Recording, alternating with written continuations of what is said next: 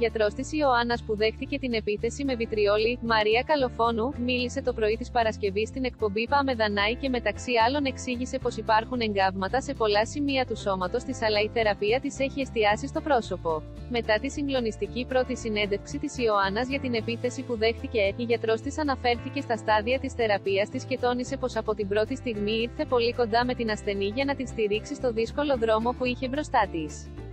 Οι δηλώσεις της γιατρού της Ιωάννας. Η αλήθεια είναι ότι σε αυτά τα μεγάλα περιστατικά, αναγκαστικά, δημιουργείται ένας δεσμός γιατί ζούμε καθημερινά ο ένας τον άλλο και εγώ έχω ανάγκη να στηρίζω τους ασθενείς μου και εκείνοι εμένα με την βοήθεια τους, και με την Ιωάννα ήταν εκπληκτικό αυτό το πόσο με βοήθησε. Έχουμε τελειώσει το πρώτο κομμάτι το οποίο ήταν να σώσουμε τη ζωή της, μετά να επουλώσουμε τα τραύματα της, να κλείσουν οι μεγάλες πληγές που είχε σε όλο της το σώμα και όχι μόνο στο πρόσωπο, εστιάζουμε στο πρόσωπο, αλλά έχει καεί και σε ολόκληρο το κορμί της, μιλάμε για μια καταστροφή μεγάλη και σε μεγάλη έκταση του δέρματός της. Η δουλειά αυτή, δεν είναι δουλειά ενός ανθρώπου, δεν αρκεί ένας χειρουργός να κάνει τα χειρουργία και επί ευκαιρίας θέλω να ευχαριστήσω πάρα πολύ, όλους τους συναδέλφους, είπε χαρακτηριστικά. Θέλει να σταθεί μπροστά της και να τη ρωτήσει το πρωί της Παρασκευής ο δικηγόρος της Ιωάννας Παλιοσπύρου, Απόστολος Λίτρας μίλησε στο Ευτυχείτε αναφορικά με την επιθυμία να της να βρίσκεται στη δίκη.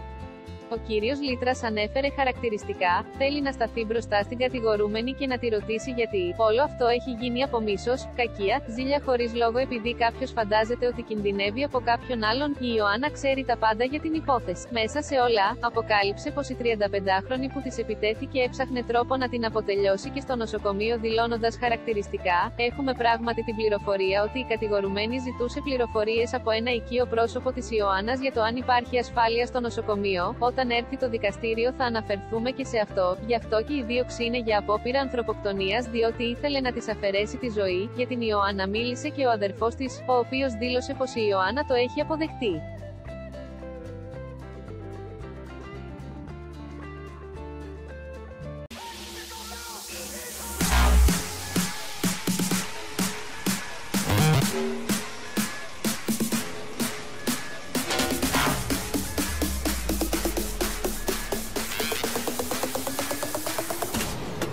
I'm doing it.